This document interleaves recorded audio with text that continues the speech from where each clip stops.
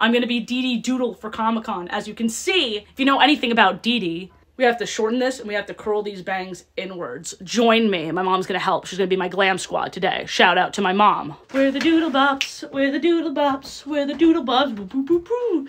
No place better Hold than I know you're it. gonna wanna stay. Hey, thank you for your help. Here we are together. Dee Dee. Doodle. No. Dee Dee.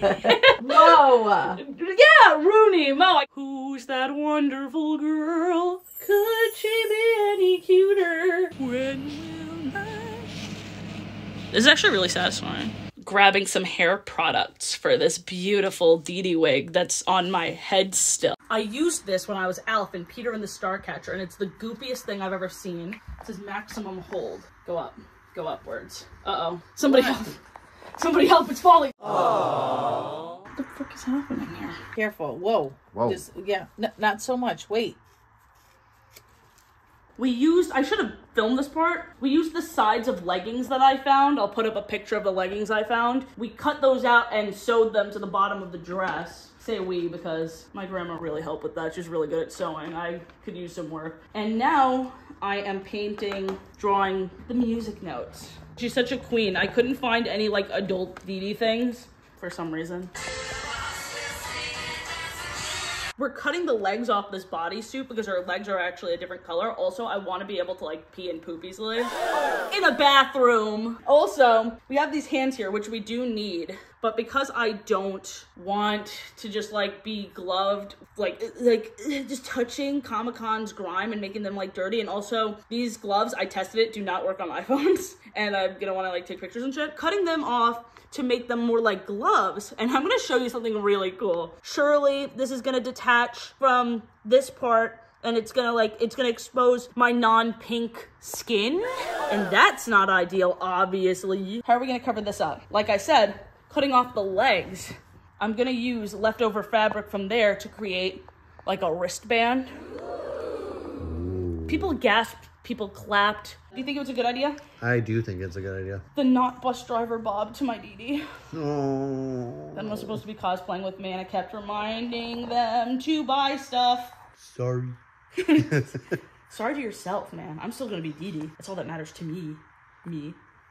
I'm going to have to draw this on my hand, and you know, if it bleeds through, I'm gonna be a Doodlebop forever. But this is an essential part, and if you've watched my lore video, you know this is why I consider the cartoon to be not canon, because they do not have their magical, sparkly, magical button thingies. Oh my god, I go to a palm reader, and she's like, I predict you're a Doodlebop?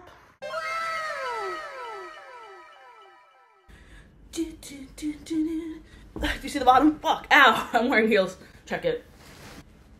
It's the morning of Comic Con. I hate this wig, but you know what? Not all of them can be as good as Moe and freaking and the whatever the Ruby. I mean, the curls are kind of cute. The back of my head looks ridiculous. Whatever. Now I gotta color match this to my skin. I brought a lot of my sunset makeup. Can you pump more gray into my handband? Actually, whoa, wait a second, wait a second.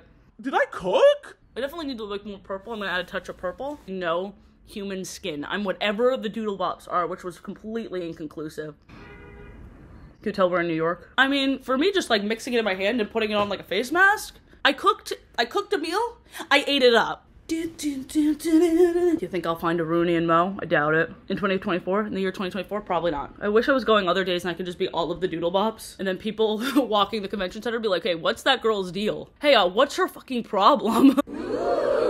that it's back. I want to do contour. I'm just surprised at how quickly this is coming together. I think I'm undeniably Dee fucking Doodle right now. The characters in the Doodlebops, I think, are in their 20s. This Dee fucks. Oh, wait. I'll show you in the mirror on my phone. Dee Dee, okay, I'll see you at the convention. I think that's it. I don't think it's getting any better than that. I lost my ticket and they made me pay full price for a new one. Good way to start. Hi, second channel. I feel so much better now. I got a couple of drinkies. And I'm also trying Tanghulu for the first time.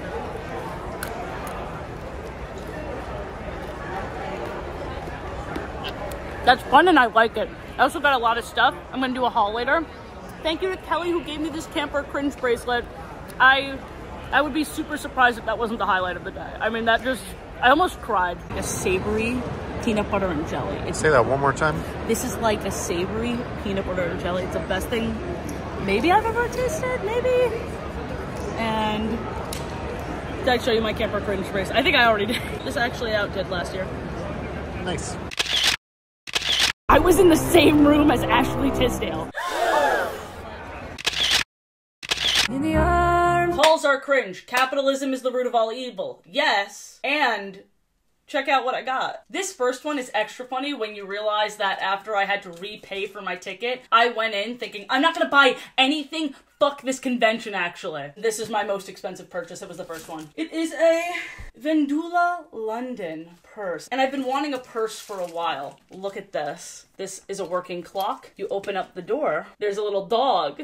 I just think it's so cute. It's so spacious. It's like what a magical ant would have in a movie. And I also watch, I don't know if you know this TikToker, entertainer, drag mother, Mother Birdie. They have been looking for a purse for a while, and I've kind of been avoiding buying a purse. Like, I didn't get the cuntage of a purse. I get it now. This is how I felt when I bought my first Betsey Johnson. Does this swing out?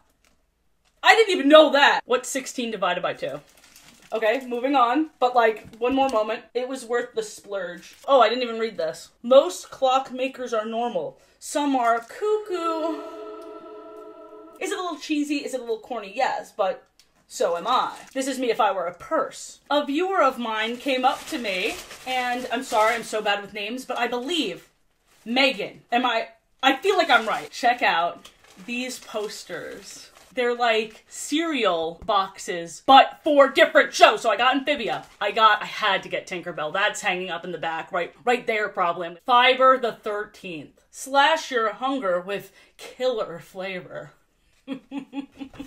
so yeah, that's probably going in Ben's office or our kitchen. I'm obsessed with it. Thank you to Jamon Red for these lovely posters. Instagram on screen. Now we have Ranelynn Graphics with this insanely magical holographic of all the starters in Kanto. I'm planning on making quite a handful of Pokemon videos in 2025.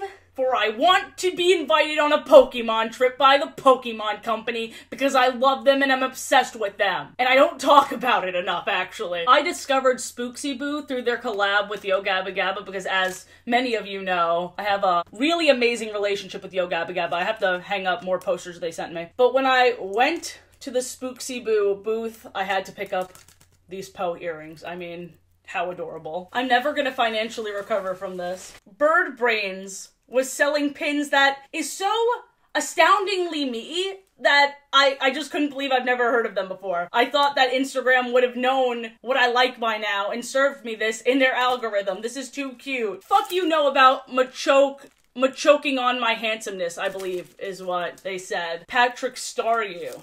Are you actually shitting me? This is amazing. The dude I talked to who created these, so incredibly nice. Follow on Instagram, please and thank you. You're gonna see me wearing these a lot. I probably should have refrigerated these. I got shots. I took one out of the four already. I got coasters from Shark Angels. It's all about conservation. I love aquatic life and they're threatened all too much. I got nailed it with the hammerhead shark. We got whale hello there with of course the whale shark. Born for greatness, I think great white shark. And then go get him tiger, tiger shark. Very cute. I entered to win a raffle. I think I lost. Me and Ben went to Artist Alley and bought a bunch of comics as well. The Dead and Damned. This was more for Ben. This is a little too scary and gory for me. We got the first three, or one to two and a half, of Fiendish. And what drew us to this is they have their own language in the back to translate all the parts that are in that language. They also have a map. It was giving like a more mature dragonology for me. And then for Ben, it was giving action and drama and just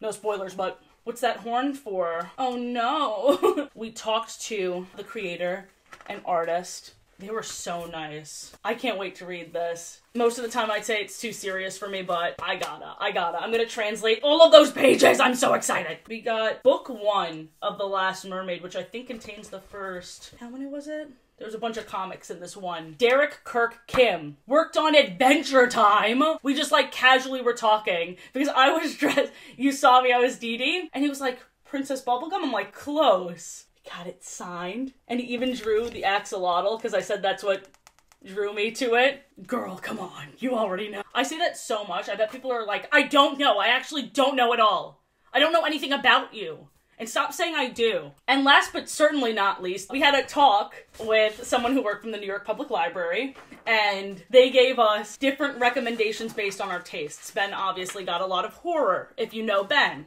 And I got a lot of gay, funny, silly, Steven Universey stuff because I'm annoying. It was truly a magical Comic Con despite the rough start. Thank you to all of you who came up to me. You were, as always, the best part. I love chatting with you. I chatted with you guys a bunch. I know a lot of your names. You guys are the coolest.